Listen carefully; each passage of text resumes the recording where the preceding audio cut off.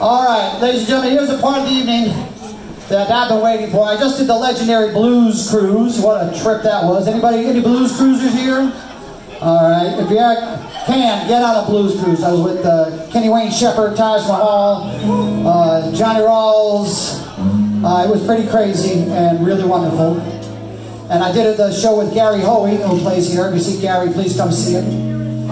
And uh, I fell in love with really great guitar players as a result of that trip. Really watching the guitar and blues, they're just, uh, it's, it's, it is the rooster that does the calling.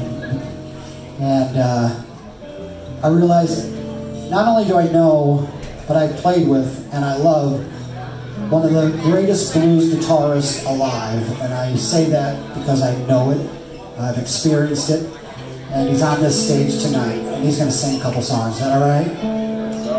I think that's all right. Ladies and gentlemen, Mr. Clarence Spady.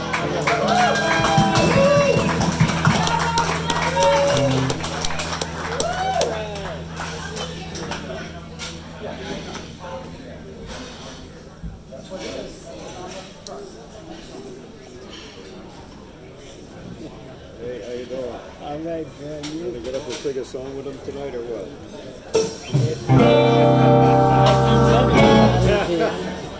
We ask you, you do.